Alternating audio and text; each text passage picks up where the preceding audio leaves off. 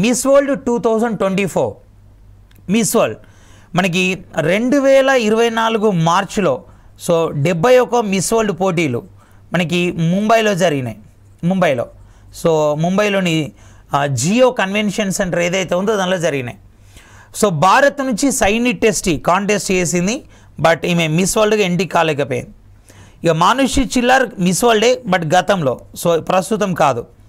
ఇక దీనిలో మీకు ఇద్దరున్నారు కదా ఈమె so winner and second one వచ్చేసి so Yasmina Zaitoun runner up Yasmina Zaitoun runner up so అంటే miss world two thousand twenty ఫోర్కి ఎంపికైంది ఎవరంటే సో క్రిస్టినా ఫిస్కోవా చెక్ రిపబ్లిక్ దేశానికి చెందిన మహిళ.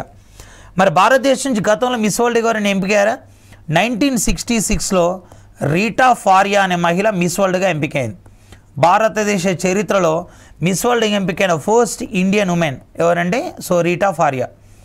ఆ తర్వాత వచ్చేసి నైన్టీన్ నైంటీ ఫోర్లో మనకి సో ఐశ్వర్యరాయ్ మిస్ వరల్డ్కి ఎంపికైంది ఐశ్వర్యరాయ్ ఓకేనా?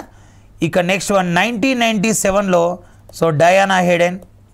డయానా హెడెన్. ఓకేనా? సో నెక్స్ట్ వచ్చేసి మనకి టూ థౌజండ్లో Priyanka Chopra and next two thousand సెవెంటీన్లో మానుషి చిల్లార్. మానుషి చిల్లార్.